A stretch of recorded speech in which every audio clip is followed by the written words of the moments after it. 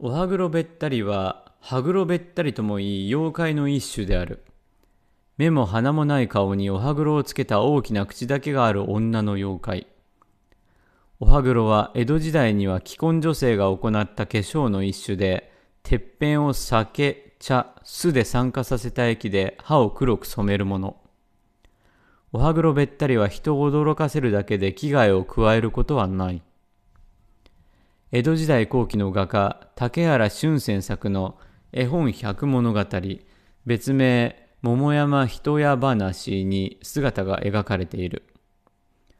ある人が古い社の前を通った時美しげな女が不死拝んでいるので戯れに声をかけて過ぎようとしたところその女が振り向いた。顔を見ると目も鼻もなく大きな口でケラケラと笑った。二度と見たくないほど恐ろしかったという意味のことが記されている。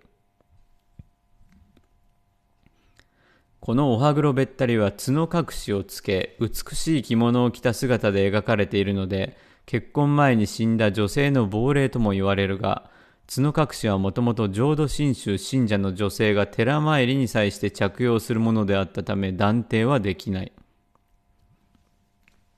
また小泉役もギリシャ出出身の小説家の短編「ムジナ」にあるようにのっぺらぼうはムジナ、キツネ、タヌキなどが人を驚かせるために化けたものであるとも言い伝えられているのでおはぐろべったりもその類と考えられる。